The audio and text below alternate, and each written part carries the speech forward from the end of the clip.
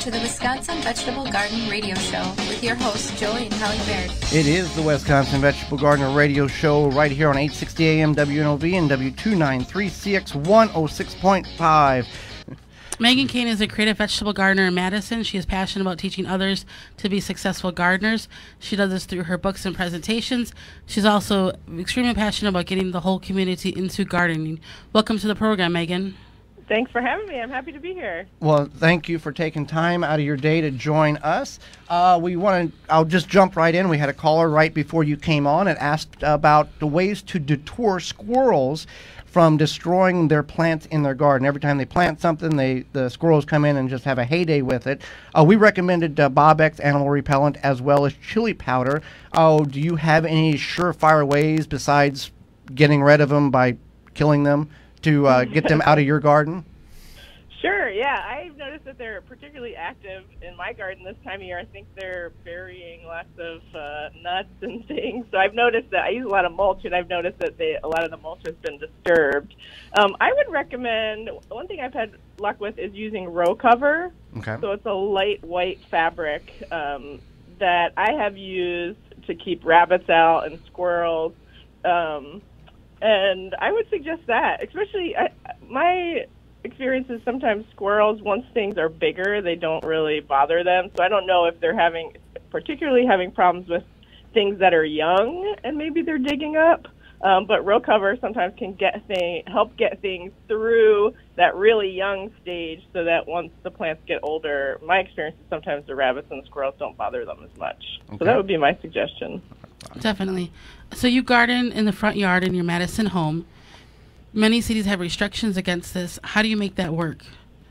Yeah, I do. So we, um, when we bought our house, you could not see the house from the street. It was so overgrown with lots of shrubs, weedy shrubs, and other things.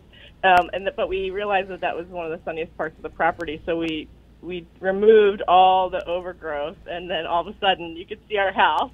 Um, our neighbors were certainly surprised all of a sudden that, that they could see that there was a house there. Um, so we, well, one thing that we did, we knew that we wanted to have a front yard garden, uh, and we purposely picked a neighborhood that we knew wouldn't be a big deal if we had a front yard garden. So certainly there are more manicured neighborhoods in Madison than where we live. So um, that's one thing that we looked into. Pick a neighborhood where we knew we didn't have to have a perfectly manicured yard because we never do. I like to call ours a working yard.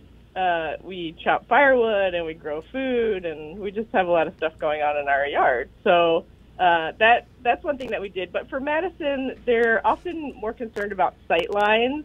So if you are growing really tall things, so once in a while, people that have prairie gardens, maybe between their house and the street or near the curb, um, if there's cars that can't see, so maybe if you have a garden that's right next to a driveway and people are pulling out and they can't see, um, that's often what Madison is concerned about.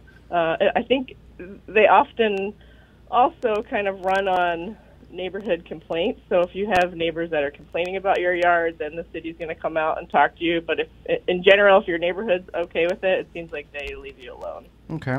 Uh, you developed one of the first youth garden programs in Madison. For for our listeners, uh, for for some of them who um, who might want to think about doing a community garden, and, and we always encourage that. What was some of the challenges that you faced, and some advice some advice you can give people who want to do something similar, whether in Milwaukee or wherever they're listening throughout the country? Sure. So it's true that so, so some youth gardens are attached to schools some youth gardens. The one that where I worked, um, it was actually part of a community garden land. It was really land trust that was run by a nonprofit, and there was a big community garden there, and then a separate kids garden. Um, so I think first is kind of decide do you who what youth do you want to serve? Are you going to serve? Do you want to be attached to a school where the students come out during the school day? Uh, and then um, work in the garden, and it, the teachers can integrate some of the gardening stuff into their curriculum? Or do you want to have a kids garden at a maybe a community center, and then the kids that come to the community center are going to come out into the garden? Do you want it to be a part of a community garden where maybe the kids of families that come to the community garden can also access the kids garden. So I think that's the first step is kind of become clear on on what kids you want to serve and get involved. Um, you can also get kids involved in your own front yard or side yard or backyard garden. I have a, my next door neighbor is six years old, just turned seven, and we've become good friends uh, because of her interest in my garden. So now she worked with me for the first year. This year she has her own garden bed and she decided what she wanted to plant in there. So you can also do it a little bit more informally and just get some of the kids in your neighborhood involved in your garden by inviting them to be a part of it. Um, and you can uh, teach kids that way. So, so one of the chal- I think a big challenge of school gardens, especially, is that the kids aren't there during the height of the gardening season, which is the summer. And so, a lot of schools have trouble finding people to um, take care of the garden when school's not in session. So that's one thing to keep in mind. Are there kids? Are there going to be kids around all year round? Um, and if not, what's your plan to take care of the garden in those off times when the kids aren't present? Definitely makes sense. So you like to preserve preserve food without canning. Why don't you like canning? And what are some ways to preserve your food without canning?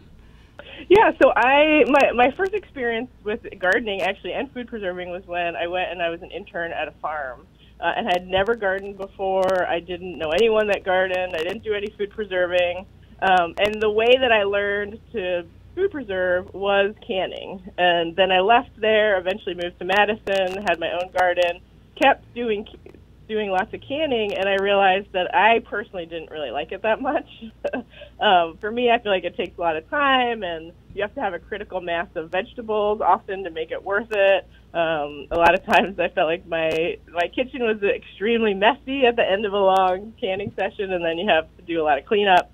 So I started to look for some other ways that I could preserve food, um, and the methods that I like to use uh, are really fresh fridge and freezer. So if at all possible, I store food fresh in my basement. So that would be things like onions and garlic and winter squash and sweet potatoes.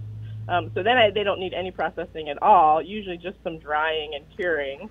I just put four crates of, of onions down in my basement yesterday to get get ready for fall and winter. And then I also use my fridge. So there's a few things like carrots and beets that can store really well in your fridge for many, many months. So I usually grow a fall crop of beets and carrots. I have both of those in my garden right now. I leave them in the garden as long as possible. Uh, but then before the ground freezes, I dig them up and then I store them in my fridge all winter long. We've often still been eating stored beets and carrots into April and May of the following year. Uh, and then the third method I use is a chest freezer. So I like to freeze a lot of different things. Um, there's some things like peppers that don't need any processing. You could you don't have to steam them or blanch them or anything. You can just freeze them raw. Just chop them up, remove the seeds, throw them in some freezer containers, and throw them in the freezer.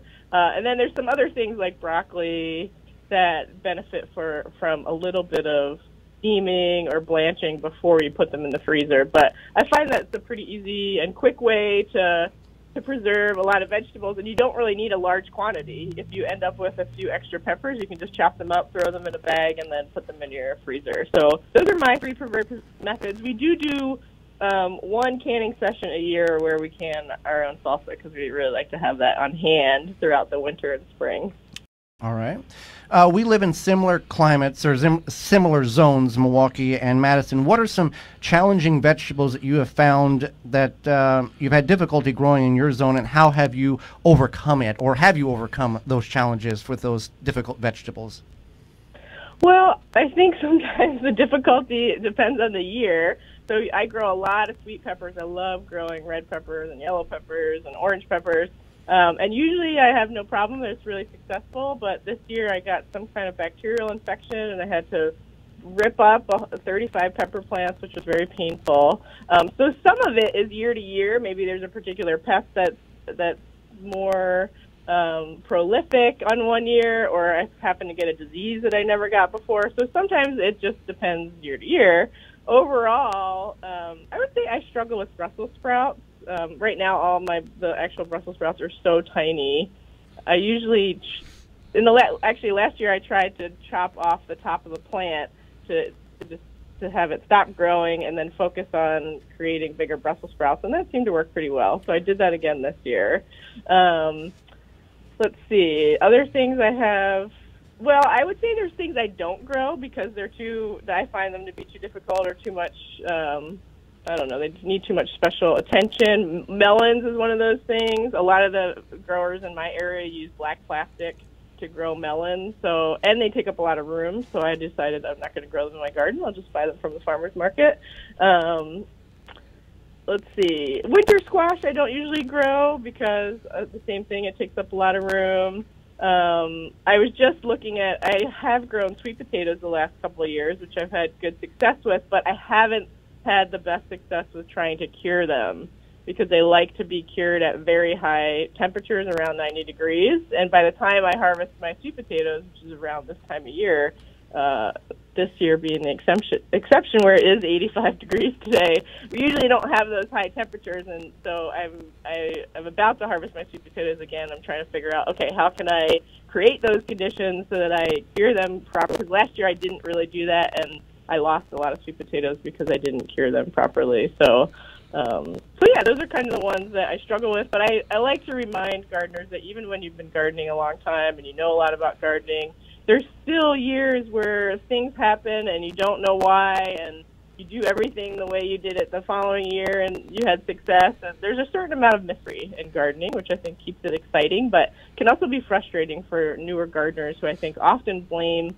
themselves and not knowing that sometimes things just happen in the garden and you're not even sure why. Absolutely. So, why don't you tell us about your books and where to find you? Sure. So, uh, uh, my business is a creative vegetable gardener, so people can find me at creativevegetablegardener.com. I have a blog. You can sign up for my email list. I usually send out one email a week on Sunday mornings uh, with a timely gardening topic. Um, and then my I've written two books. One about easy food preserving. Um, which you can also find on my website, and it's also on Amazon. And then I wrote another book this, that just came out this past winter on garden planning. It's called Smart Start Garden Planning. I, I've learned over the years that the most successful gardeners are really people that have some sort of plan an idea of what they're going to do for the season. So it's kind of walking people through the process of figuring out what you want to grow and evaluating different vegetables to see if they're worth it to grow in your garden and where how to order seeds and varieties that I recommend. So that was a fun one to write and try to encourage people to don't wait until the first nice day in spring to start thinking about your gardening. Really just try to come up with even just a really simple plan before the season begins. So both of those can be found on my website and then also on Amazon as well. Well, Megan, I greatly we greatly appreciate you taking time out of your day to join Holly, myself, and our listeners and sharing some of your garden wisdom with all of us. Thanks for having me. I'm happy to be back. Thank you, Megan. If you're in the Milwaukee or surrounding areas, just tune your radio to 860 AM or FM 106.5. You can also find links on our Facebook pages, The Wisconsin Vegetable Gardener and Home Canning. Our website, thewisconsinvegetablegardener.com, click on the radio tab at the top of the page then click on the Listen Live button and you'll have immediately access to our live program. Mobile devices work very well also. Go to your App Store and download for free the TuneIn app or the Simple Radio app. Then search WNOV 860, save it to your favorites, and you can have access to our radio show live wherever you're at in the world. Our radio program will also have podcast replay under the radio tab day, uh, several days following the live broadcast. You can find all of these links in the show notes below. Our show airs 9 to 10 a.m. Central Standard Time every Saturday, March through the end of October. And we want to thank our sponsors because without them, this would not be anywhere possible. You can find all of their links under the radio tab on our website at thewisconsinvegetablegardener.com. For more information, please visit thewisconsinvegetablegardener.com.